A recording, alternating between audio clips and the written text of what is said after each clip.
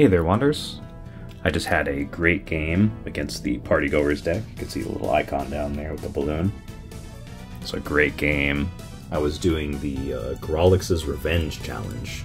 I also had this False Hope challenge active where you have to use a false wall to escape an engagement. Uh, I didn't manage that one, but I did manage the Grolix's Revenge, and that was it was it felt impossible the last time I played this deck, but this time, like it just really fell into place. Um, I, I, defeated Grolix, and then right away the uh, Golden Stairs came out the next round, and then I was out of there.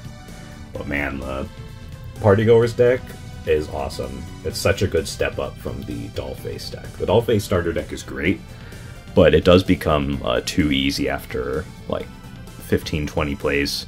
You start to really get used to seeing all the cards.